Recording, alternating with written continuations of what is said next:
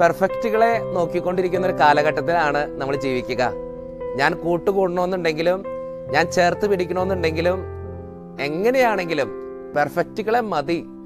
നല്ലൊരു സ്വഭാവമുള്ളവരെ മതി. എല്ലാം കറക്റ്റായവരെ മതി എന്ന് ചിന്തിക്കുന്ന ഒരു കാലഘട്ടത്തിലാണ് നമ്മളൊക്കെ ജീവിക്കുക. ശരിയല്ലേ? എല്ലാത്തിനും പെർഫെക്റ്റ് അങ്ങനെയുള്ളവരെ എന്റെ കൂടെ നിർത്താനാണ് എല്ലാവർക്കും താല്പര്യം. ഒരിക്കൽ ഒരു പെൺകുട്ടി വന്ന് പറഞ്ഞ ഒരു അനുഭവമുണ്ട്. അച്ഛാ എല്ലാം പെർഫെക്റ്റായ ഒരാളെ എന്റെ വീട്ടുകാർ എനിക്ക് തന്നതാ. പക്ഷേ അയാളുടെ കൂടെ ജീവിക്കാൻ എനിക്കിപ്പോൾ പറ്റണില്ല അച്ഛ. എല്ലാം പെർഫെക്റ്റാ കുടിക്കില്ല വലിക്കില്ല ഒച്ചപ്പാടുകളില്ല ബഹളങ്ങളില്ല. പക്ഷേ ഒരു കാര്യം മാത്രം അച്ഛ.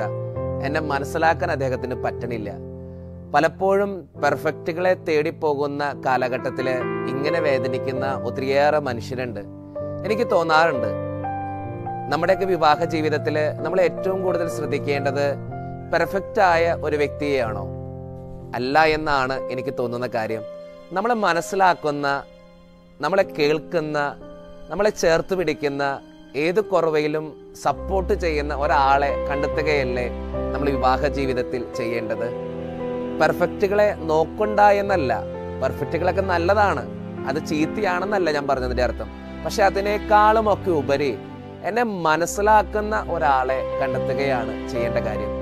എന്റെ മനസ്സ് തുറക്കാൻ ഉറപ്പുള്ള ഒരാളെ. അല്ല എങ്കിൽ എന്റെ കൂടെ നിൽക്കുമെന്ന് എനിക്ക് വിശ്വസിക്കാൻ പോകുന്ന ഒരാളെ അല്ലേ വിവാഹ ജീവിതത്തിൽ കണ്ടുപിടിക്കേണ്ടത്? ഒന്ന് ചിന്തിച്ചു നോക്കേ. എന്നിട്ട് തീരുമാനമെടുക്കുക. ദൈവം സഹായിക്കട്ടെ ദൈവം കൂടെ ഉണ്ടാകട്ടെ.